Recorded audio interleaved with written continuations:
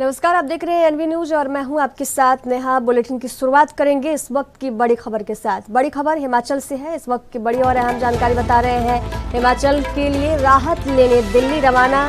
CM Sukhvinder Singh Sukhu. CM Sukhu Delhi में विभिन्न विभागों में अधिकारियों से भी मिलेंगे। तो इस वक्त की बड़ी और अहम जानकारी बता रहे हैं आपको हिमाचल से आपदा से निपटने के लिए। केंद्र सरकार से आर्थिक मदद लाने का भी प्रयास करेंगे सीएम सुक्खू। हिमाचल ने मांगी 2000 करोड़ की अंतरिम राहत। तो इस वक्त की बड़ी हम जानकारी बता रहे हैं हिमाचल से। हिमाचल के लिए राहत लेने दिल्ली रवाना हो गए हैं सीएम सुक्खू। सीएम सुक्खू दिल्ली में विभिन्न विभागों में अधिकारियों से भी मुलाकात करेंगे। तो इस वक्त की बड़ी खबर बता रहे हैं, हिमाचल के लिए राहत लेने। दिल्ली रवाना हुए सीएम सुखविंदर सिंह सुक्खू। सीएम सुक्खू दिल्ली में विभिन्न विभागों में अधिकारियों से भी मुलाकात करेंगे। तो इस वक्त की बड़ी और अहम जानकारी आपदा से निपटने के लिए केंद्र सरकार से आर्थिक मदद लाने का भी प्रयास सीएम सुक्खू करेंगे। तो इस वक्त की बड़ी खबर बता रहे हैं। हिमाचल से हिमाचल के लिए राहत लेने दिल्ली रवाना हुए सीएम सुखविंदर सिंह सुक्खू। सीएम सुक्खू दिल्ली में विभिन्न विभागों में अधिकारियों से मुलाकात करेंगे। हिमाचल के लिए राहत लेने दिल्ली रवाना हो चुके हैं सीएम सुखविंदर सिंह सुक्खू। सीएम सुक्खू दिल्ली में विभिन्न विभागों में अधिकारियों से भी मिलेंगे। आपदा से निपटने के लिए केंद्र सरकार से आर्थिक मदद लाने का प्रयास करेंगे।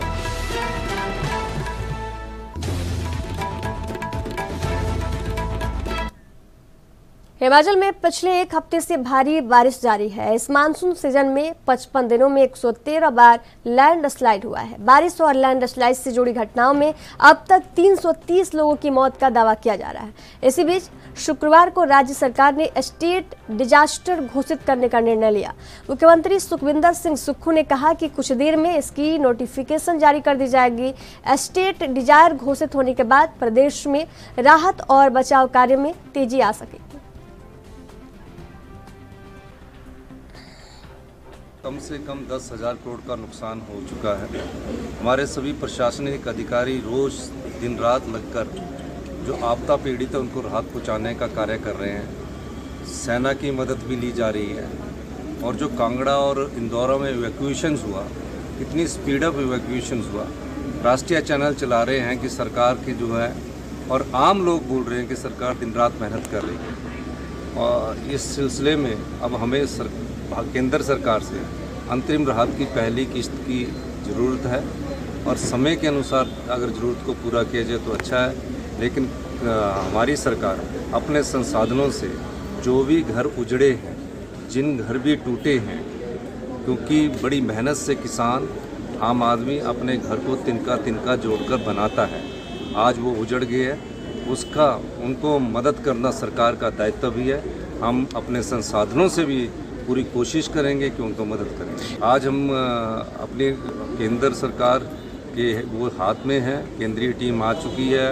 क्या कहते हो तो उनके पास है, लेकिन हम अपने राज्य में तो राष्ट्रीय, राज्य आपदा घोषित कर रहे हैं आज। और इस सिलसिले में अभी हम जो भी है मेरी अधिकारियों से बात हुई है और इसकी नोटिफिकेशन आज हो जाएगी। मैं तो उन चारों उनसे जेपी नड्डा जी ने कम से कम इतना तो हाल तो पूछा कि आपकी हम क्या मदद कर सकते होम मिनिस्टर। होम मिनिस्टर साहब ने हाल तो पूछा प्राइम मिनिस्टर साहब ने हाल तो पूछा लेकिन चारों सांसद जो यहाँ की जनता के द्वारा चुने हुए नुमाइंदे हैं क्या उनका संसद जो चली हुई थी उसमें भी सवाल नहीं उठाया जा सकता था कि कितना नुकसान हुआ कब तक आप उसकी डिजास्टर मैनेजमेंट के लिए आप आ, आ, मदद क्या कर रहे हो? तो बिहारी तो को आपदा में राजनीति कर रहे हैं और इन चारों सांसदों को पूछना चाहिए। जनता पूछेगी आपसे। आप जनता के बोर्ड द्वारा चुन कर गए हैं। आप सत्ता सुख प्राप्ति प्राप्त कर रहे हैं, लेकिन लोगों की आवाज़ में कहा आपने संसद में आपदा में राहत उठाई, इस बारे में आप मुख्यमंत्री सुखविंदर सिंह सुक्खू सिरमौर प्रवास पर रहे आपको बता दें कि मुख्यमंत्री आज हेलीकॉप्टर से सातौन हेलीपोर्ट पैड पहुँचे। अंबोड़ गाँव प्रभावित परिवारों से मिले तथा राहत और बचाव कार्यों का भी सीएम सुक्खू ने जायजा लिया। इसके बाद कच्ची ढांक सड़क का भी उन्होंने निरीक्षण किया।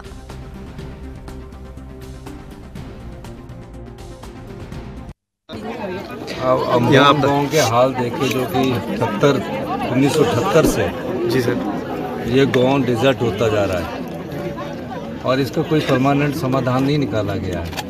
तकरीबन आज पचुंजा वर्ष हो गए हैं। इस गाँव पर हमेशा आपदा आती रही है। मैं तो ये मानता हूँ कि जो मैंने हालात देखे हैं, पचपन वर्ष में से ये लोग मांग कर रहे हैं कि इस नाले का, पर इस नाले की चैनलाइजेशन कैसे होनी है, वो स्टडी का विषय है कि कैसे है। ऐसा ना हो कि हम चैनलाइजेशन करें और जब बादल फटे तो और भी गाँव को, दूसरी तरफ़ जहाँ गाँव लोग बसे हैं और गाँव को नुकसान हो जाए। पर मेरा ये मानना है कि इन चीज़ों को देखना बहुत ज़रूरी है। आम आदमी के परिवारों को नुकसान ना पहुँचे। हमारी सरकार इस विषय पर, मैं खुद अध्ययन करवाऊँगा कि कैसे इसको करा सकते हैं। लेकिन अध्ययन करवाने के अलावा जिस प्रकार का लहसा आ रहा है यहाँ उम्मीद बहुत कम नज़र आती है। तो कैसे इसको करना है ये तो साइंटिफिक तरीके से जो हमारे रिपोर्ट आएगी, उसी के बाद कर सकते हैं। लेकिन अभी जिन घरों को नुकसान पहुँचा है उनको अभी हमने दस दस हज़ार फौरी रिलीफ दी है। मैं जानता हूँ कि जिसके घर में सिल्ट आ जाती है तो दस हज़ार से कुछ नहीं होता पूरा मकान ही हिल जाता है। पूरे मकान का ही वो वो, वो स्ट्रक्चर हिल जाता है। तो इनको फौरी राहत के तौर पर एक लाख रुपए देने की हमने बात कही है जिसका मकान मुख्यमंत्री सुखविंदर सिंह सुक्खू ने बताया कि छत्तीसगढ़ राज्य सरकार ने हिमाचल प्रदेश में भारी बारिश से आई आपदा से निपटने के लिए प्रदेश सरकार को 11 करोड़ रुपए की सहायता राशि, आपदा राहत कोष के लिए प्रदान की है। उन्होंने छत्तीसगढ़ के मुख्यमंत्री भूपेश बघेल का आभार व्यक्त करते हुए कहा कि आपदा के इस घड़ी में प्रभावितों को मदद प्रदान करने में ये सहायता कारगर साबित होगी। उन्होंने कहा कि भारी बारिश के कारण प्रदेश में दस हज़ार करोड़ रुपए से भी अधिक का नुकसान हुआ है। राज्य सरकार युद्ध स्तर पर राहत एवं पुनर्वास कार्य चला रही है। उन्होंने प्रदेश के खुले मन से मदद करने वाले सभी अंशदाताओं का भी आभार व्यक्त किया।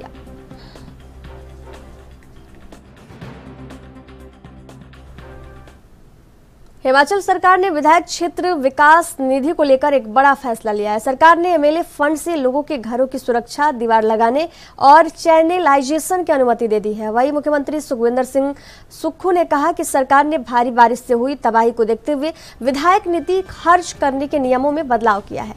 इससे प्रदेश के उन लोगों को भी राहत मिलेगी जिनके घर लैंड की वजह से अनसेफ हो गए हैं। इस साल भारी बारिश से जिनके घरों को खतरा पैदा हुआ है, उन्हें ही बजट दिया जाएगा और ये नियम 31 मार्च 2024 तक रिलैक्स किए गए हैं। आपको बता दें कि अब सभी अड़सठ विधायक अपने अपने चुनाव क्षेत्रों में लोगों के घरों के आगे और पीछे दीवार लगाने के लिए बजट दे सकेंगे।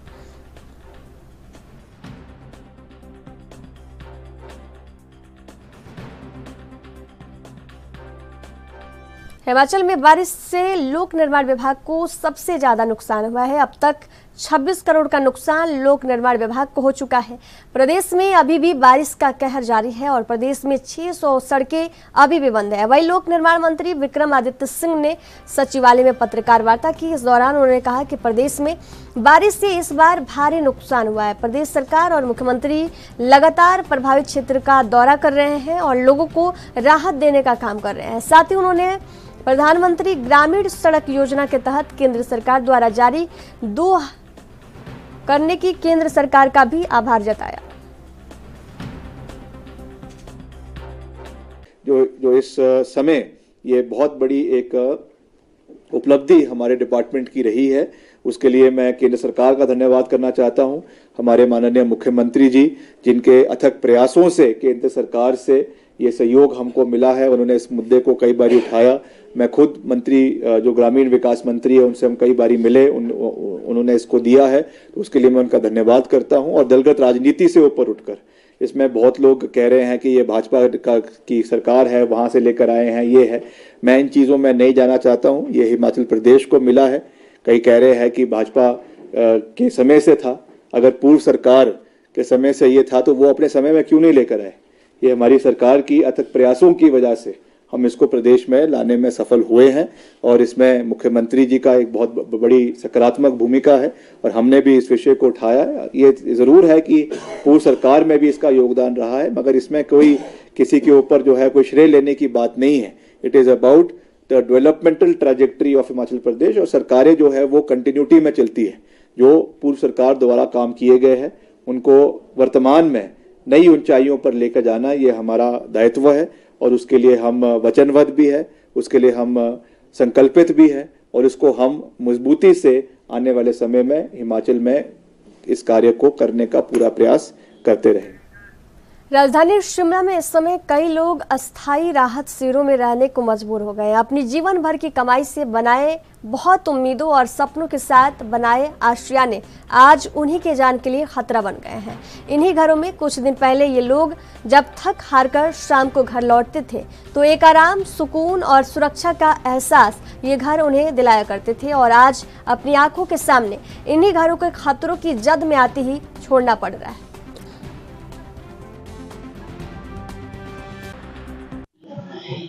शिमला को जो जख्म मानसून ने दिए हैं, शायद आने वाले कई साल ये जख्म अब भर नहीं पाएँगे। आज हम मौजूद हैं पागली में, जहाँ पे वो लोग रह रहे हैं, जिनके घरों पे खतरा मंडरा है। अपने सामने अपनी पूरे जीवन भर की जो कमाई है, उससे जब आशियाना कोई बनाता है, वहाँ पे जब रहता है, वहाँ कई सपने सजाता है, कई उम्मीदें होती है और वहाँ से जो है पूरा जो आपका जो पूरे दिन का जो दिनचर्या है, वो तय होती है।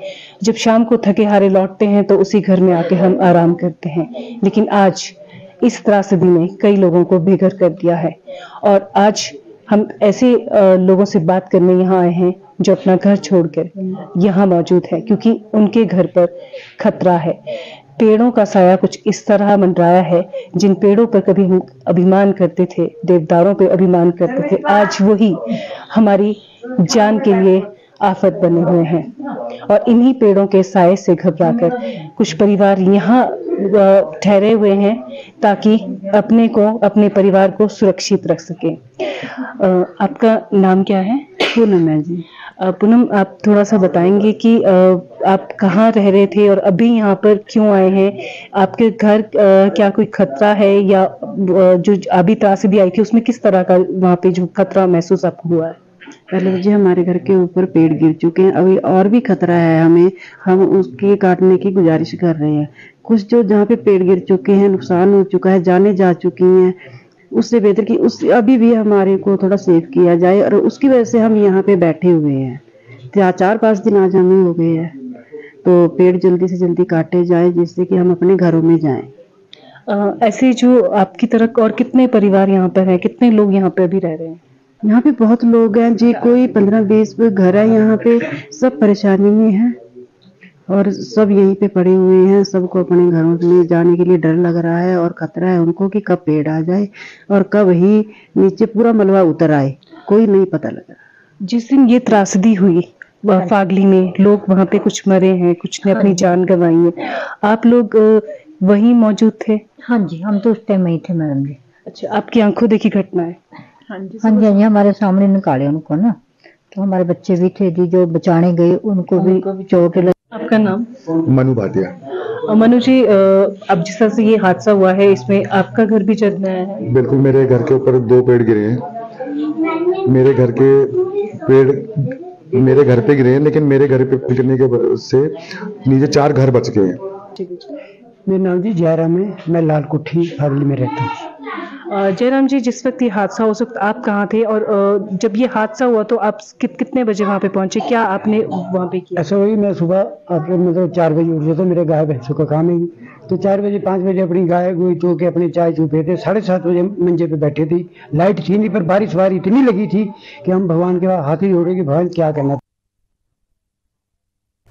या रुकेंगे एक छोटी सी ब्रेक के लिए। ब्रेक के बाद जल्द हाजिर होंगे देखते रहिए एएनपी न्यूज़।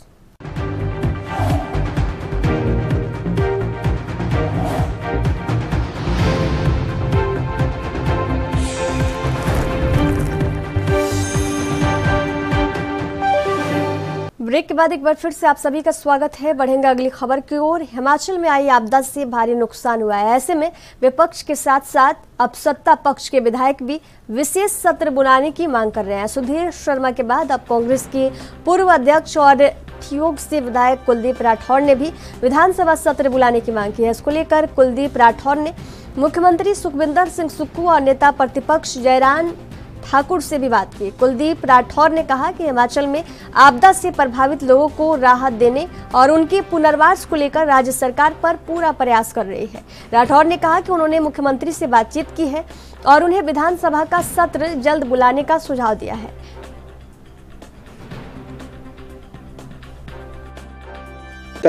पूर्व मुख्यमंत्री ठाकुर जयराम जी से भी मेरी बात हुई।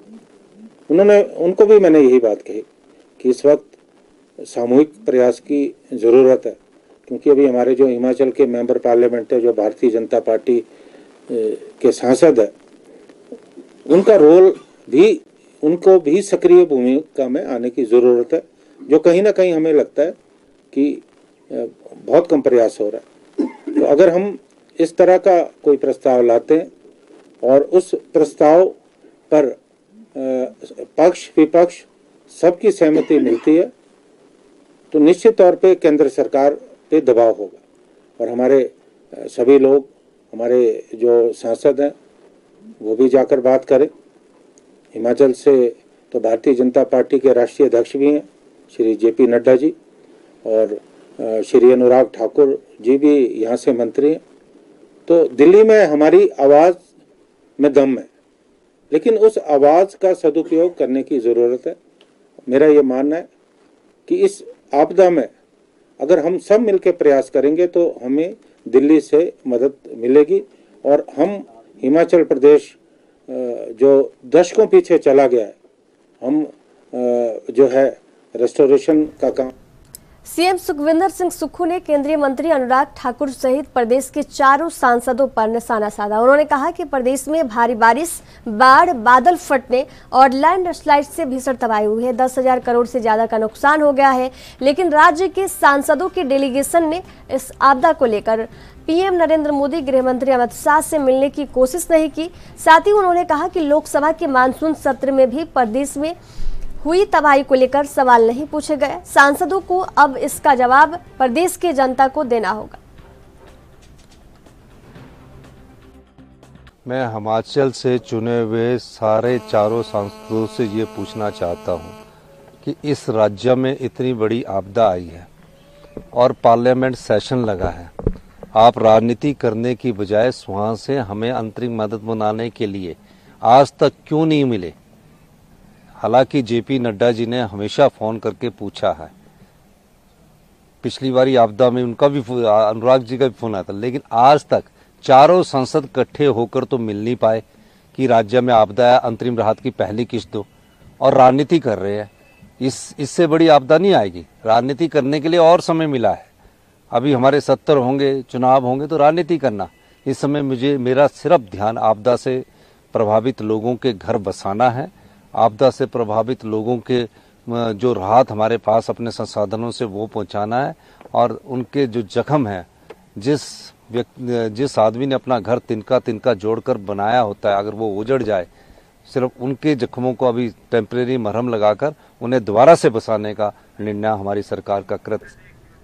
प्रदेश में बाहरी राज्यों के फेरी वालों की आमद लगातार बढ़ती जा रही है। सरकारी तंत्र को धोखा देकर लाखों का घटिया सामान। प्रदेश में बिना बिल के पहुँच रहा है। वही आज बिलासपुर के घुमरावी में व्यापारियों ने एकजुटता और सूझबूझ से 10 फेरी वालों को दबोच लिया। जब छानबीन की तो इनके पास सामान का कोई बिल नहीं मिला। हैरानी की बात तब हुई जब आधार कार्ड में सभी की जन्मतिथि भी लगभग एक जैसी ही थी। आपको बता दें कि व्यापारी द्वारा पकड़े गए फेरी वालों को पहले थाने ले जाया गया, जहाँ पुलिस ने उनका पंजीकरण देखा जो कि नहीं पाया गया।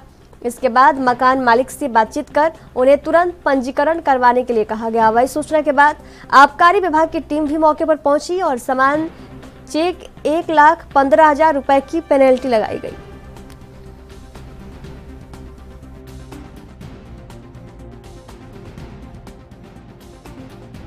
जब भी आते हैं जब भी जिस एरिया में जाते हैं वो पुलिस स्टेशन में रजिस्ट्रेशन करवाते हैं। इस तरह जो उसकी वेरिफिकेशन कर, कर रहे हैं हम जैसी भी जैसा भी होगा उनके खिलाफ जैसी कार्रवाई अमल में लाई जाएगी। मगर जो फेरी बोले लगाने का जो है फंडामेंटल राइट्स है, जो कहीं भी अपना व्यवहार कर सकते हैं। मगर इनके पास कोई रजिस्ट्रेशन या आधार कार्ड या कोई ऐसा वेरिफिकेशन उसको हम कर सकते हैं वो करा लेंगे। बाकी तो वो, जैसे बोल रहे थे, सामान वगैरह इनका जब्त करना है वो वो नहीं किया जा सकता। अगर वो बिना टैक्स के सामान है तो उसके लिए जो एक्साइज डिपार्टमेंट्स में कर सकते हैं हम सभी व्यापारी भाई यहाँ पुलिस स्टेशन गुमारी में आए थे तो एस एच ओ मैडम से बात हुई। उन्होंने हमें बोला भी हम इनका वेरिफिकेशन अभी चेक करवाते हैं। बिलासपुर में इनकी एंट्री है तो अभी वो वेरिफिकेशन चेक कराते हैं। बाकी हमने एक्साइज की टीम को भी बुलाई है, जो यहाँ इनके सामान की वेरिफिकेशन करेंगी, इनके बिल वगैरह चेक करेंगे। इसी संदर्भ में सारे व्यापारी भाई इकट्ठा हुए थे। बाकी भी यहाँ हमारी ये प्रशासन से अपील है कि जो भी यहाँ बाहरी लोग रह रहे हैं, उनको जल्द से जल्द उनकी वेरिफिकेशन की जाए और जो ऐसा सामान बेच रहे हैं, उनको पकड़ा जाए। बिलासपुर में प्राकृतिक आपदा के चलते सबसे ज़्यादा नुकसान लोक निर्माण विभाग को सड़कों को हुआ है। इस बार आई आपदा का असर बिलासपुर के चारों उपमंडलों में ज़्यादा देखने को मिला। गौरतलब है कि भूस्खलन के चलते बिलासपुर ज़िले के कुल पाँच सड़कों में से 277 सड़कें प्रभावित हुई थी, जिसमें से 50 ऐसी सड़कें हैं जिन्हें ज़्यादा नुकसान पहुँचा था। वही लोक निर्माण विभाग द्वारा प्रभावित सड़कों पर 45 जेसीबी, जिनमें नौ विभाग और 36 प्राइवेट जेसीबी हायर कर दिन रात सड़कों को खोलने का प्रयास किया जा रहा है। इस बात की जानकारी देते हुए लोक निर्माण विभाग के अधीक्षण अभियंता जीत सिंह ठाकुर ने कहा कि इस बार हुई भारी बारिश के चलते लोक निर्माण विभाग को चौहत्तर करोड़ का नुकसान हुआ है।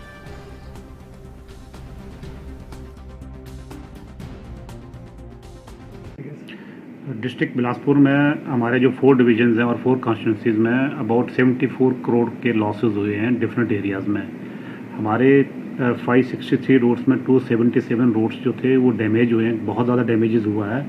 और फिफ्टी जो था, उसमें काफ़ी ज़्यादा जो है वाश आउट भी हो चुके थे रोड्स वगैरह और उसमें रिटर्निंग वॉल्स वगैरह, काफ़ी जो रिटर्निंग स्ट्रक्चर्स वो डैमेज हुई है। हमारे जितने भी एक्सीज वगैरह हैं एस हैं और जेईज़ हैं, वो सब लोग जो है दिन रात लगे हैं सड़कों को खोलने के लिए। जो रैना नैना देवी वाला एरिया है, उसके सारे के सारे रूट्स हम लोगों ने खोल दिए, जंडोता एरिया की जितनी भी सड़कें सारी खोल दी हैं। इस जो बरसात हुई थी, अभी जो काफ़ी ज़्यादा रेनफॉल हुआ था, उसमें मैक्सिमम डैमेज हुआ है घुमारवी में और कुठेड़ा एरिया में, जो कि नंबर वन के अगेंस्ट उसकी, उसके अंडर आता है। हमारे अबाउट हम लोगों ने 45 जेसीबीज लगाई हुई हैं, जिसमें नाइन जेसीबीज डिपार्टमेंटल हैं और बाकी प्राइवेट हायर की हुई है। नाइन टिपर्स लगे हैं जो हायर करके हम लोगों ने क्या कर रहे हैं कि उसको लिफ्ट करना पड़ रहा है मटेरियल को। कुछ लोग जो है उसमें कॉपरेट नहीं कर रहे हैं नीचे मटेरियल को फेंकने के लिए। हमारा प्रयास है कि अभी जो है ना, जितनी भी सड़कें हमारी बीस के आसपास बची हुई हैं, वो सारी की सारी सड़कें जो है हम दो या तीन दिनों में कोशिश करेंगे उनको सारे सड़कों को ओपन करने के लिए। इसके साथ साथ आपके माध्यम से मैं एक, ये भी आह्वान करूँगा, लोगों से रिक्वेस्ट करूँगा कि काइंडली थोड़ा कॉपरेट करें। कई जगह जो है हमारी सड़कें इसलिए नहीं खुल पा रही हैं कि लोग जो है मलबे को उठाने नहीं दे रहे हैं। क्योंकि एक नेचुरल डिज़ास्टर है। इसमें पिडोल्डी का तो कोई रोल नहीं रहता है कि लैंडस्लाइड्स आता है। अब लैंडस्लाइड्स को अगर हम जब तक उसको लिफ्ट नहीं करेंगे, तब तक सड़क नहीं खोल पाएँगे। तो लोगों से भी हमारा रिक्वेस्ट है कि काइंडली कोऑपरेट करें सड़कों को खोलने में और जो मटेरियल है, जो मक है, उसको लिफ्ट करने में अपना सहयोग दें। खबरों के सफ़र में फ़िलहाल दीजिए जाने की इजाज़त। देखते रहिए एनबी न्यूज़ नमस्कार।